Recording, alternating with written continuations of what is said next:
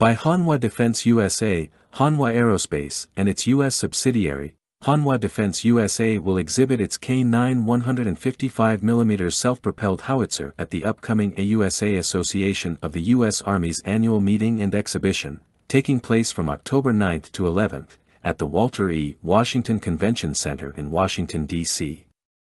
In response to the increased demand for artillery driven by the Ukraine war, South Korean company Hanwha Defense will present adaptive and dependable ordnance and munitions intended to provide the United States Army and Canadian Army with critical cutting-edge capability in support of NATO's effort to stabilize the global arms supply chain. The K9 155mm self-propelled howitzer, SPH, is the most widely used SPH in the world due to its firepower, high mobility, and survivability.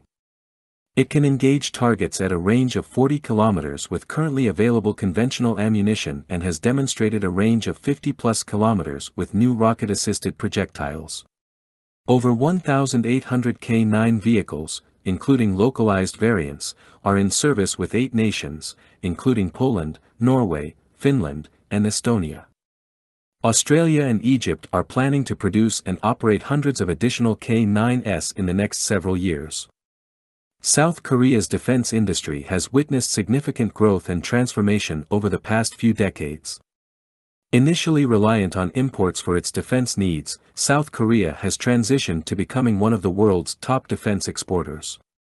This transformation can be attributed to the country's strategic investments in research and development, as well as its focus on indigenous defense production capabilities. Several conglomerates, known as chaebols, such as Hyundai, Samsung, and Hanwha, have defense divisions that play a pivotal role in the country's defense production. These companies have developed a wide range of products, from small arms to advanced fighter jets, naval vessels, and missile systems.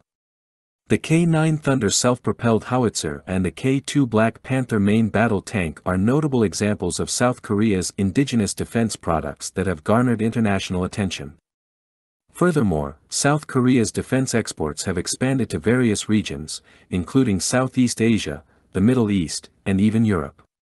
The country's emphasis on quality and competitive pricing has made its defense products attractive to many international buyers. In conclusion, South Korea's defense industry has evolved from being import dependent to a significant player in the global defense market.